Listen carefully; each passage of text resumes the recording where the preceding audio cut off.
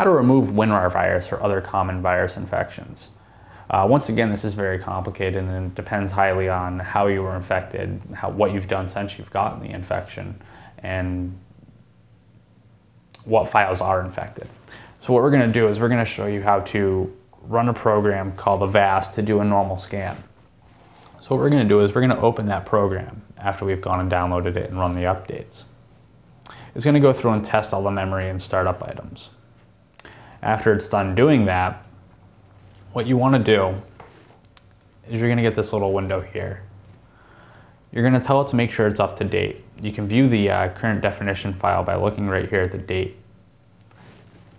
If it's not up to date, when you go to start, and you go to the updating menu and you go to program update, it's going to connect to the servers and download the most recent updates.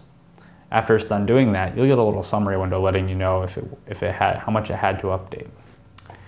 If you had to do a big update, you will be prompted to restart the computer. After restarting the computer and reopening the program and making sure everything's up to date, we're going to show you how to do a normal scan. So you can check the little hard drive icon to the right here, and you can set your scan thoroughness. You can either do a quick scan, a standard scan, or a thorough scan. We're also going to have you check scan archive files. Once those options are selected, you're going to hit the little play button. It's then going to go through and scan your computer for any known viruses, scanning all files and folders. You can see what files it's currently scanning as well as how many files it has completed scanning already and the current percentage listed on the menu to the right.